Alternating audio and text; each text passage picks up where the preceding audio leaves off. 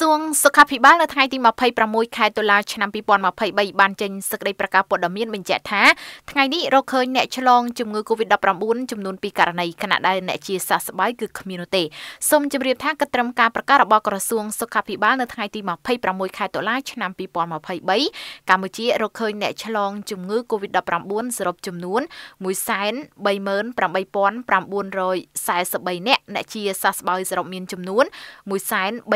135,885នាក់និងបាត់បង់ជីវិតសរុបមានចំនួន3056នាក់